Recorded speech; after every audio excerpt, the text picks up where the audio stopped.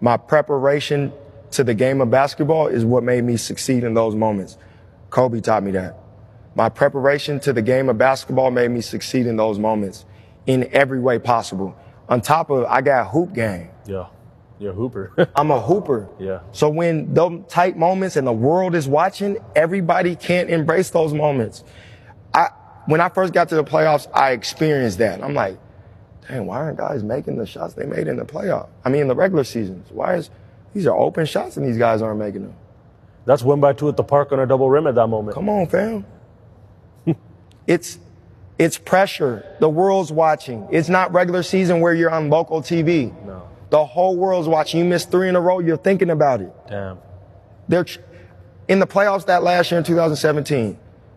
The Wizards, they put three guys on me. I'm 5'9", killer. Come on, man. I know. Name somebody. I,